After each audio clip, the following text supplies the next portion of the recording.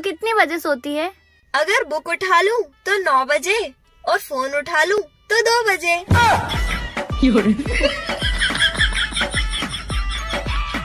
Doctor साहब plastic surgery कराने में कितना खर्चा आ जाएगा? ऐसे ही दो ढाई लाख। अच्छा। और प्लास्टिक हम दें तो? बोलो। मैं नहीं कौआ बोला। वैसे तुम्हारी और कौए की आवाज़ में ज़्यादा फ़र्क नहीं है। क्या? मैं कौआ जैसा बोलती हूँ?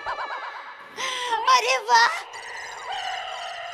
आज पहली बार आपने मेरी तारीफ़ की। Thank you